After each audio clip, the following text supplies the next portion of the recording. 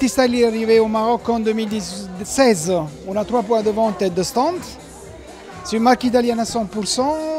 97% euh, des références sont, parabènes.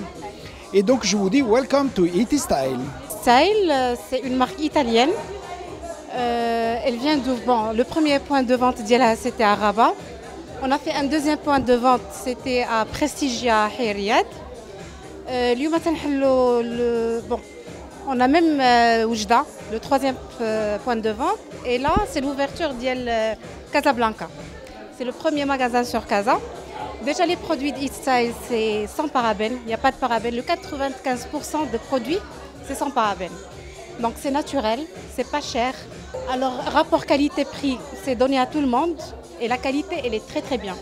Vu euh, les marques italiennes, tout- sont tous top.